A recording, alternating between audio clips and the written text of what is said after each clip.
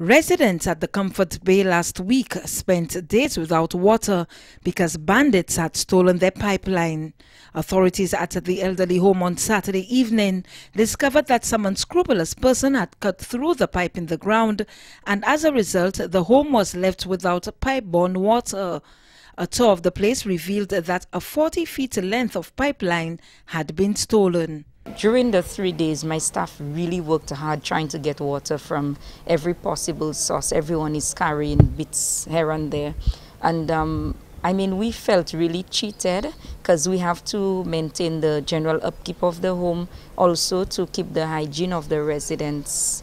And um, we're saying, we're pleading that person should not be engaged in that kind of behavior. It's unfair for the residents and likewise the staff. The pipeline was later replaced by the home and the Comfort is hoping that the incident does not reoccur.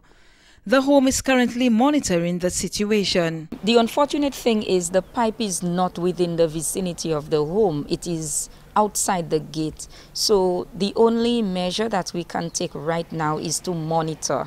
But in the interim, I have been in communication with my ministry and I am sure that my supervisor will assist us in having a, even a better measure to be put in place so that this does not repeat itself. Over 50 residents are currently being housed at the Comfort Bay Elderly Home.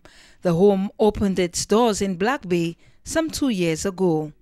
Reporting for the DBS News World, I am Cecile Actille.